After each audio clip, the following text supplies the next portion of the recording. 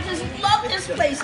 Look at every every time I come here, I always walk out a happy, happy customer. You must come and check out Studio Jewelers. They're having a great sale this week, and you also get a free set of earrings if you We're come. very grateful. We're very happy, and we'll definitely be back to the store.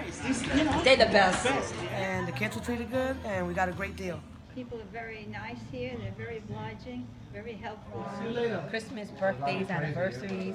They always do such a great job. Always meet you where you're at, price wise, beautiful jewelry, and great service. I'm kind of speechless because they have so many things. The prices are reasonable. They've never done me wrong, so definitely come down. I bought myself a pair of earrings, and the price and the discount was spectacular.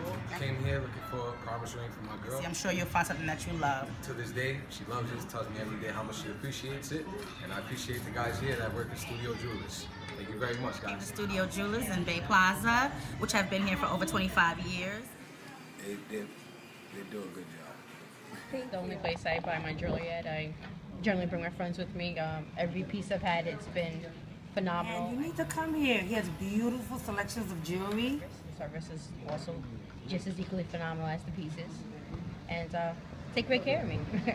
Thank you. All right, Studio Jewelers. All right, we're at Studio Jewelers in Bay Plaza Mall. We've been, uh, my wife and I have been shopping here for four years.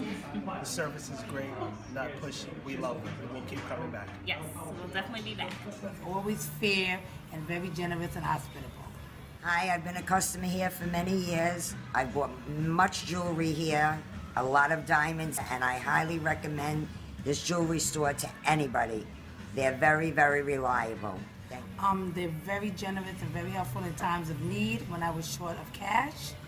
And you need to come here. You're the best. I love you. You, I can't even tell you. I'm just so thrilled. Now I just got to go home and explain to my husband what you did again. I don't know how happy he's going to be.